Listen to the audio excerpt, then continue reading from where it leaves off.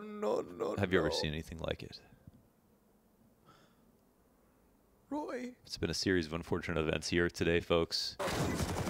It, oh.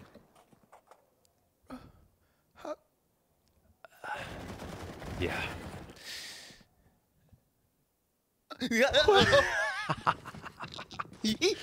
Oh my god. Would they have won that round? Uh, what is happening, man? 15 here for FaZe.